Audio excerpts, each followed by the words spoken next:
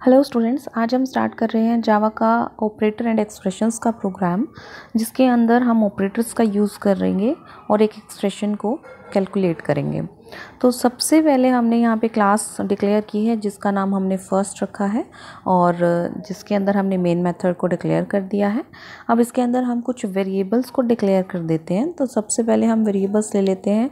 हम कुछ integer variable ले लेते हैं, जिसमें हम ले लेते हैं ए और हम ए को वैल्यूज़ असाइन करा देते हैं यहाँ पे। ए को वैल्यू हम दे देते हैं टेन एक और वेरिएबल ले लेते हैं, इसी के साथ हम बी वेरिएबल और बी को वैल्यू हम दे देते हैं फाइव तो हम यहाँ पे दो वेरिएबल हमने लिए हैं अभी। उसके बाद हम कुछ फ्लोट वैल्यूज़ भी ले लेते हैं। फ्लोट वैल्यू हम ले लेते हैं यहाँ पे। हम फ्लोट की जगह ले लेते हैं। एफ़ वन या फिर हम यहाँ पे सी ले लेते हैं। सी और सी की वैल्यूज़ हम असाइन करवा देते हैं। सिक्स पॉइंट फोर अब क्योंकि ये फ्लोट वैल्यू है तो इसके लिए हमें इसके साथ एफ़ यूज़ करना पड़ेगा। दूसरा हम एक और डी यहाँ पे डिफ़ाइन कर देते हैं, और डी को वैल्यूज़ हम असाइन करा देते हैं। थ्री पॉइंट ज़ीरो, क्योंकि फ्लोट वैल्यू है तो हम इसको पॉइंट ज़ीरो लगाना इसके साथ ज़रूरी है, और एफ़ हम फ्लोट वैल्यूज़ के साथ लगाते हैं। तो हमारे यहाँ पे हमने दो इंटीज़र वैल्यू और दो फ्लोट वैल्यू को डिक्लेयर कर दिया है। अब हम यहाँ पे दो एक्सप्रेशंस ले लेते हैं, जिसमें हम लिख लेते हैं, एक हम ले लेते हैं एक्सप्रेशन वन इक्वल्स टू और एक्सप्रेशन वन के अंदर हम यूज़ कर लेते हैं इंटीज़र और फ्लोट दोनों वैल्यूज़ को तो हमारी एक्सप्रेशंस हम ले लेते हैं A multiplied B plus plus C by D एक एक्सप्रेशन हमने ये ले ली है। हम एक और एक्सप्रेशन ले लेते हैं, जिसे हम नाम देते हैं expression two expression two equals to हम यहाँ पे लेते हैं A multiplied B plus C और यहाँ पे bracket close and divide by D तो यहाँ पे मैंने दो एक्सप्रेशंस ली हैं। लेकिन एक चीज़ ध्यान रखिए फ्रेंड्स अभी हमने यहाँ पे एक्सप्रेशन वन और एक्सप्रेशन टू को डिक्लेयर नहीं किया है।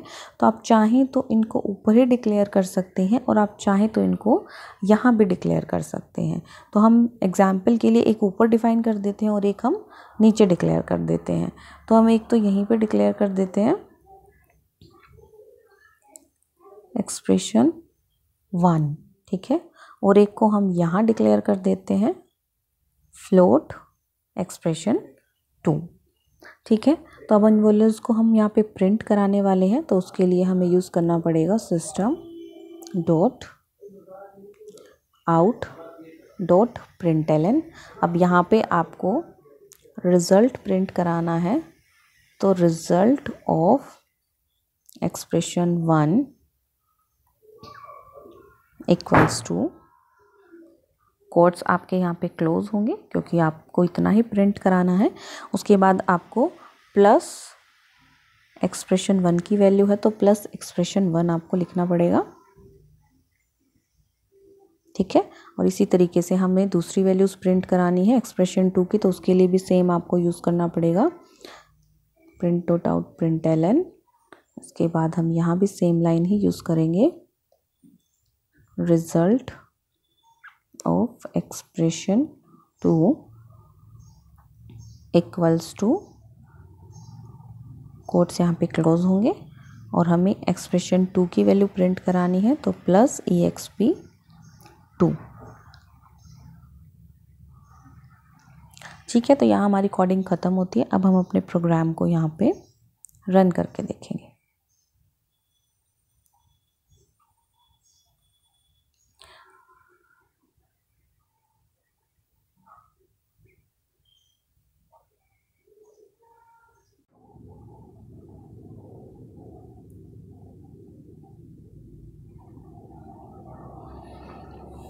तो देखिए फ्रेंड्स यहाँ पे हमारा रिज़ल्ट आ गया। Result of expression one five two point one trip three three three three five और रिज़ल्ट ऑफ़ एक्सप्रेशन टू का रिज़ल्ट हमारा आया है थर्टी एट पॉइंट ज़ीरो ठीक है? तो ये था हमारी कोडिंग दो एक्सप्रेशन जहाँ पे हमने सॉल्व की हैं।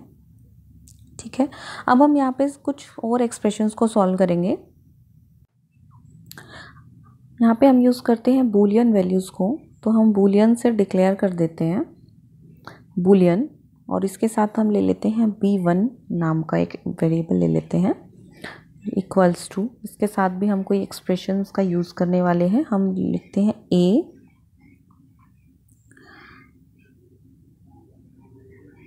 ए greater than b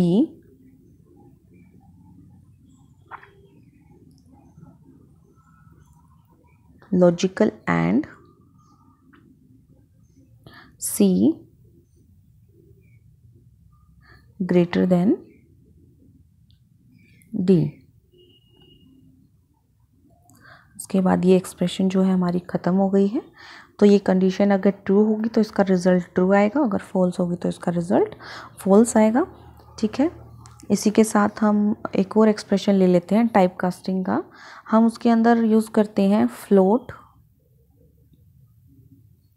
और फ्लोट के अंदर हम यहाँ पे यूज़ कर लेते हैं एफ़ वन नाम का variable F one equals to अब यहाँ पे हम कोई एक्सप्रेशन लेंगे जिसको हमें कन्वर्ट करना हो।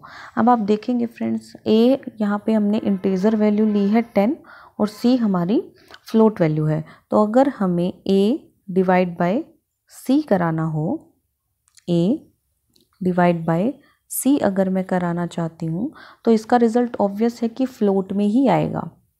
ठीक है?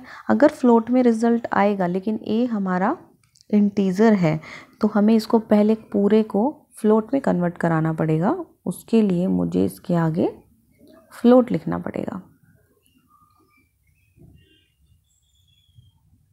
यानी कि ए डिवाइड बाई सी करके जो भी वैल्यू आएगी, वो पहले फ्लोट में कन्वर्ट होगी और फिर वो एफ़ वन के अंदर जाएगी।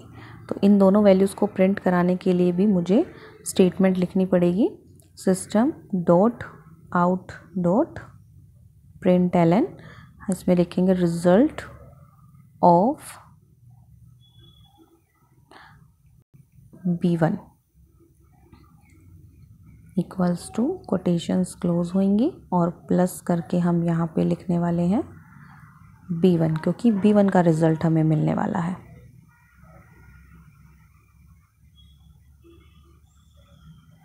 नेक्स्ट हम इसके साथ लिखेंगे system dot out dot print N result of f1 equals to plus f1 ठीक है? तो अब हम इसको रन करके देखते हैं।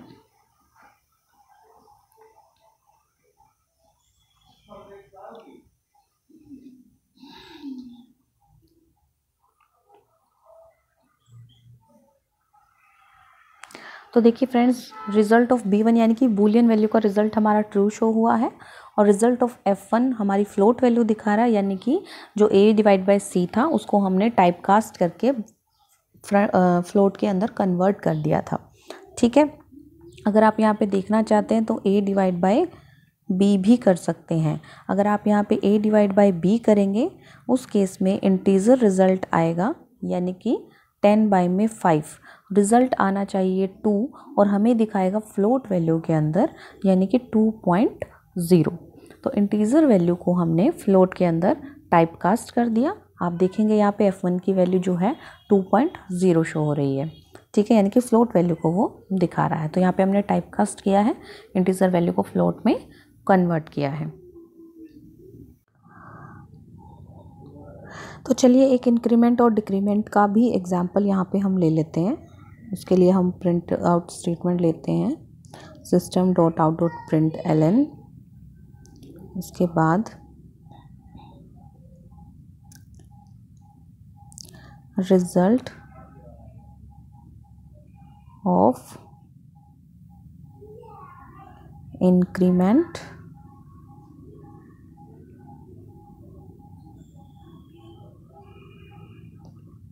इन ए तो हम ए के अंदर इंक्रीमेंट करने वाले हैं।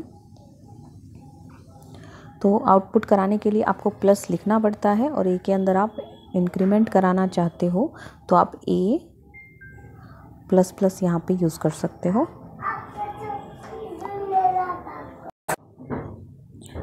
और सेमी कॉलन तो इसका आउटपुट आप देखेंगे।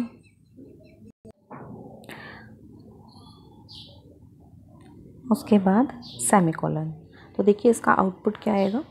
इसका आउटपुट है A equals to ten ten का मतलब है कि पहले वैल्यू प्रिंट हुई, उसके बाद इंक्रीमेंट हुआ, क्योंकि हमने ए प्लस प्लस किया है। अगर हम इसी को प्लस प्लस ए करके लिखते, अगर हम इसको प्लस प्लस ए लिखते, उस केस में देखिए हमारा क्या रिज़ल्ट आता।